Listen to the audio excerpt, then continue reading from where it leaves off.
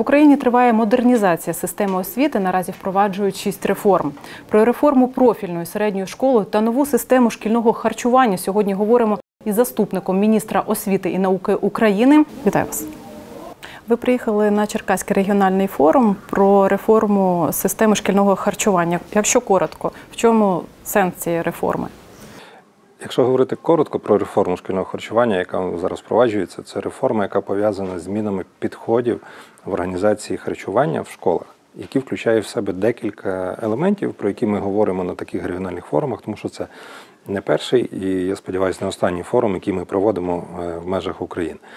І ці елементи в себе включаються і е, оновлення меню, е, вимоги до цього меню, це і посилення фінансової інституційної спроможності громад, це є популяризація здорового способу життя, е, правильних харчових звичок.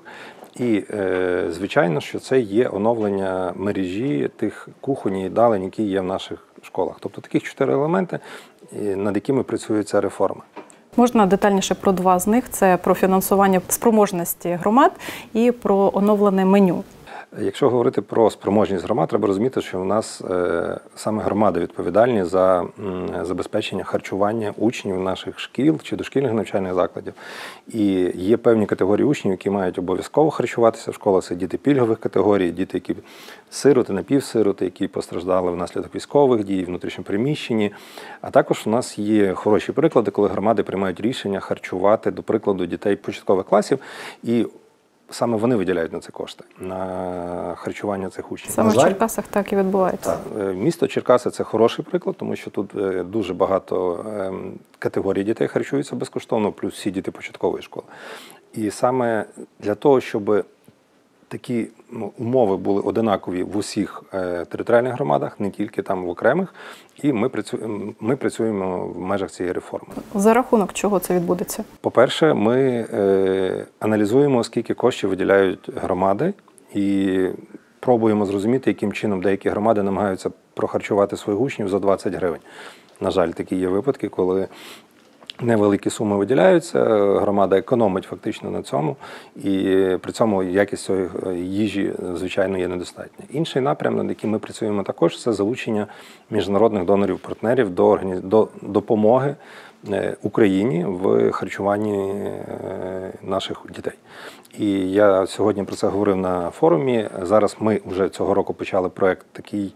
Пілотний проект з WFP, це всесвітня продовольча програма Організації Об'єднаних Націй, яка в межах меморандуму, який ми підписали разом е, з нею, як Міністерство освіти, допомагає більше 400 шкіл в межах України саме відшкодування вартості харчування, яке вони надають учням. Це Е, якщо я не помиляюся, частина вартості е, порції, яка становить 30 гривень на одну порцію приготовану і надану дитині. Тобто це ну, така значна допомога для цих 400 шкіл.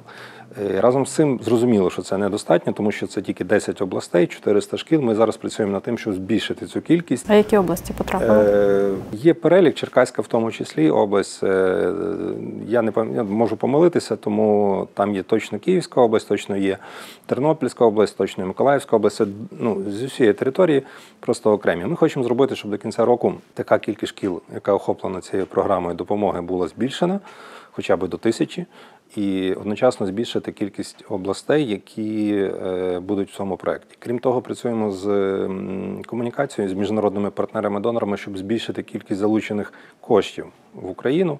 Ми розробляємо механізм, за допомогою якого зможемо надавати цю допомогу громадам і безпосередньо школам. Це буде пряма допомога громадам? Так, це напряму в громади, напряму відповідно зразу після того в школи саме на харчування. Ви ще сказали про оновлене меню. По-перше, яка його ідеальна вартість такого меню? Е, ну, Ідеальної вартості немає. Є е, вартість, яка найбільш наближена до ринкових е, якби, цін. І, звичайно, що вона буде залежати від регіональної ситуації. Тобто десь є дешевше там, не знаю, м'ясо, десь дешевші яйця, десь дешевше буде там зернові тому нема універсального є такого рішення. У нас є вимоги щодо того, що має бути в меню дитини, і є приблизні ринкові ціни е, загальноукраїнські. І вони залежать від кількості порцій на день. Але якщо брати в середньому, одна порція е, для дитини в день на обід в школі це десь орієнтовно від 40 до 50 гривень. І що буде в цій порції? Немає знову ж таки унікальних рішень для меню, тому що кожна школа може мати своє власне меню. Єдине- Маю на увазі от меню від Клопотенка. Меню від Клопотенка це одне з тих меню, е, які може використовувати школа, тому що кожне меню це є перелік е, рецептів, які може брати кухар і використовувати. Ну за що його критикували? За збільшену вартість цього меню, за те, що дітки не хочуть їсти, тому що вони звикли до харчових е, добавок різних, а там це було відсутнє. Саме на це і спрямована реформа, тому що ми маємо вчити навчати дітей правильних харчових звичок. Те, що е, Євген Клопотенко використав е, в своєму меню, воно відповідає нашим вимогам, які визначені відповідною постановою Кабінету міністрів. І те, що вони є незвичними для наших учнів, це говорить про те, що до цього діти швидше за все харчувалися неправильно і занадто багато використовували тої самої солі, цукру в їжі. І це меню е, воно не є унікальним, універсальним. Його можна модифікувати, можна міняти. Між іншим, ми зараз працюємо над також ще додатковим е, переліком. Е, Таким таким збірником рецептів, які ми також запропонуємо школам, які, е, які вони також зможуть брати і використовувати при А приготуванні. хтось його буде куштувати перед тим, як впроваджувати. Е, Я думаю, що ми окремо навіть презентації будуть цього меню з прикладами тих страв, які можна приготувати по цьому меню. Але тут знову ж таки ми маємо розуміти, що кухар на кухні він є господар і він е, може модифікувати, коригувати або власному, власними силами розробляти своє меню. Єдине, що це меню має відповідати тим вимогам, які є е, в нормативній базі. Е, Хотіла запитати ще про доречність такої реформи, тому що це потрібно і в деяких школах е, харчоблоки модернізувати. І, і дітки ходять не кожен день, буває в школи, і під час тривоги забирають батьки. Чи потрібно це робити саме зараз? Ніколи не пізно починати реформу, особливо реформи, які стосуються здоров'я наших дітей. Е, Міжнародні дослідження всі показують, що правильно організоване харчування в е, дитячому віці, тобто школа, можливо, навіть і запізно. Починати треба ще з дошкільних навчальних закладів. Призводить до того, що доросле населення є більш здоровим і має менше неінфекційних захворювань. Е, Коли ми презентуємо реформу шкільного харчування разом з Міністерством охорони здоров'я, міністр охорони здоров'я завжди говорить, що в нас в Україні смертність е, в переважній більшості від неінфекційних хвороб. Саме це хвороби, які спричинені нездоровим способом життя, неправильним харчуванням. Е, І саме прививання таких навичок з малого ну, з- молодшого віку, шкільного чи дошкільного віку, е, покращить в майбутньому здоров'я наших е, дітей, а це вже майбутнє це здоров'я нашої нації. Давайте поговоримо ще про профільну освіту. Розкажіть також коротко про ідею профільної освіти. Е, Профільна старша освіта це частина реформи нової української школи. Це нічого жодного нового вигаданого на даний момент немає. Це те, що було е, передбачено при початку реформи нової української школи у 2018 році. Просто тоді про це мало говорили, а зараз вже більше, тому що ми наближаємося до того періоду, коли ми повинні впроваджувати цю старшу профільну школу. Ми маємо е, стандарт початкової освіти, маємо стандарт е, базової освіти. Це ті класи, в яких вже працює нова українська школа з 1 по 6. І зараз ми готуємося до прийняття стандарту профільної освіти. Е, Фактично він вже розроблений. е, Цей стандарт пройшов публічні обговорення. І найближчим часом буде прийнятий урядом е, і затверджений урядом для використання. Що передбачає профільна освіта в загальному розумінні? Це більш гнучкий підхід до навчання учня, вибору його власної освітньої траєкторії.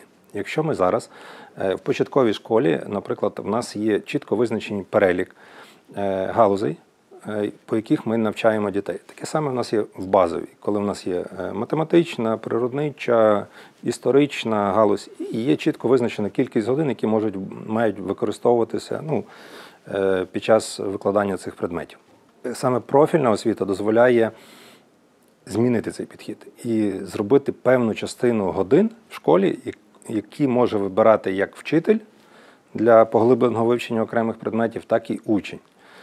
Е, Якщо це в е, 10 класі, це буде 70 годин е, обов'язкових і 30 на вибір. В 11 класі це буде 50 на 50, то в 12 класі, в майбутньому 12 класі, це буде вже 30 обов'язкових, 70 на вибір учня. Це дозволить сконцентруватися учню на вивченні тих предметів, тих галузей, які йому цікаво. Чи діти знають в 10 класі, ким вони хочуть стати в подальшому? Можуть і змінити думку. А таким Правильно. чином це звужуються такі можливості. Правильно, дитина може е, поміняти свою е, вибір своїх предметів і в, в 11 класі, і в 12. Саме 10 клас, ми так називаємо його адаптаційний клас, під час якого є невелика варіативна частина, і учень більше е, якби вчиться по загальному переліку предметів. І саме під час 10 класу він має сформувати вже собі бачення того, як він рухається далі. Те, що е, це звуження, можливо, так, але одночасно це і полегшення. Бо якщо ви зараз послухаєте батьків, дітей, вони дуже багато жаліються, і це, в принципі, показує практика на кількість предметів, які викладаються в старшій школі. І це призводить до того, що діти в деяких випадках перенавантажені і змушені наймати репетиторів, щоб поглиблено вивчати окремі е, предмети, особливо ті, які вони готуються до, до прикладу до НМТ. Е, Старша профільна школа з великою варіативною частиною дозволить е, уникнути цього. Дитина буде мати базу знань, яка буде обов'язковою для всіх, незалежно від того, за яким профілем дитина навчається. Разом з цим дитина буде мати, кожен учень зможе мати вибрати собі той профіль, за яким він хоче поглиблено вивчати. До прикладу, учень вибрав біологічний профіль і він вивчає поглиблено біологію і хімію. Разом з цим в нього ще буде частина варіативних годин, які він зможе вибрати і вивчати, до прикладу, літературу. Чому б і ні, якщо він цього хоче робити. І це все дозволить е, саме цей стандарт, який ми зараз приймаємо, ті модельні програми, які будуть прийняті, затверджені, е, дозволить провадити з 27-го року.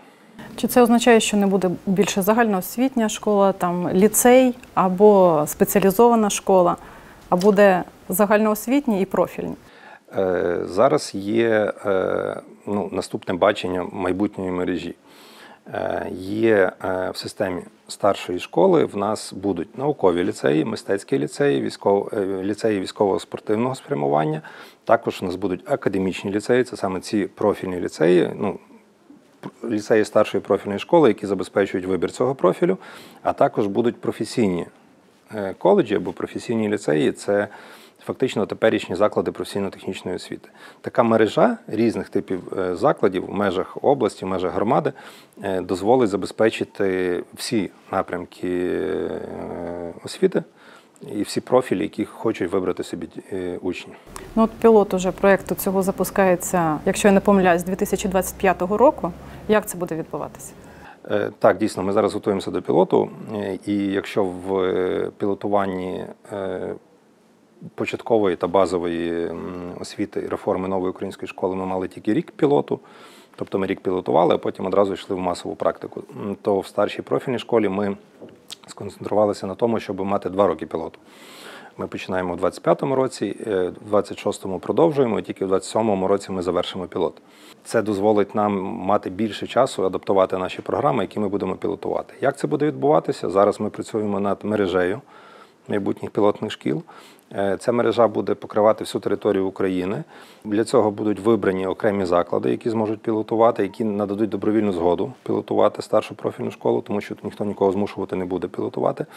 Ми будемо, звичайно, допомагати цим закладам як ну, фінансово, е, оновлювати їхню матеріально-технічну базу, так і методично, надавати їм допомогу в плані нових е, використання нових навчальних програм, навчання вчителів, як працювати з цими новими програмами, як формувати ці профілі, яким чином ці профілі застосовувати.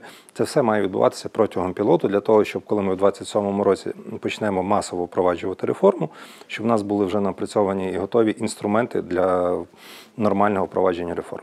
Ті дітки, які вчитимуться у цих профільних школах під час пілотування і е, в звичайних школах, вони матимуть різні програми. Як це в подальшому буде врегульовано? Якщо ми говоримо про пілот, ми маємо розуміти, що в нас ще е, буде один додатковий рік навчання, тому що діти, які в 25-му році підуть в 10 клас, вони не закінчать його в 27-му році, вони закінчать його в 28-му році. Цей пілот. Тому що в них буде на один рік довший е, відповідно навчання. І зараз ми працюємо над синхронізацією програм, щоб ці учні пілотних шкіл могли поступити одразу на другий курс е, вищих навчальних закладів. Таким чином вони не втратять цей рік, але в подальшому всі діти будуть навчатися вже 12 років. А за рахунок чого цей рік набігає? Тому що зараз у нас є в старшій школі 10 і 11 клас, а в майбутній буде 10, 11 і 12 клас. Фактично, у нас появляється додатковий ще умовний 10 клас, адаптаційний клас, про який я говорив, протягом якого дитина формує е, бачення того, що вона хоче е, далі вивчати в вже 11 і 12 класі. Ці пілотні школи будуть в містах чи в селах? І взагалі як система в селах працюватиме? Так, це будуть і шкільні е, ліцеї, це будуть і сільські ліцеї. Це, це цю саму ситуацію ми маємо зараз з пілотними е, школами нової української школи, які є в сьомому класі. Вони по всій території, їх є 150. Скільки буде таких в для старшої профільної школи, ще вивчаємо це питання. Їх точно буде менше ніж 150. е, Але достатньо, щоб пропілотувати і відтестувати всі наші інструменти. Ви вже говорили про те, що будуть додаткові кошти виділені на ці школи, е, і що буде оновлена шкільна база. Якщо не говорити про підручники, будуть щось із кабінетами робити з простором шкільним. Звичайно, тому що нові програми, е, які, над якими ми зараз працюємо, е, модельні навчальні програми передбачають використання сучасних засобів навчання. Тобто ми маємо мати хороші STEM лабораторії, кабінети природничого циклу, хімії, фізики, біології і так далі, е, які можуть використовуватися під час е, навчання. Для цього точно буде допомога з боку держави у вигляді субвенцій. Ми принаймні це плануємо зараз. Ми таким самим чином підтримуємо ті пілотні школи, які пілотують сьомі класи цього року. І минулого року вони отримали по 400 тисяч на клас, 400 тисяч гривень саме на оновлення свого своєї матеріально-технічної бази. І от сьогодні ми відвідували школу. Вже видно те, що вони купили собі інтерактивні панелі, 3D-принтера, інші засоби навчання, які їм дозволяють е, добре організовувати освітній процес. Реформи старшої середньої школи е, відбуваються на тлі освітніх втрат, про які вже говорили багато цього року. Проводили дослідження, е, піза та сама.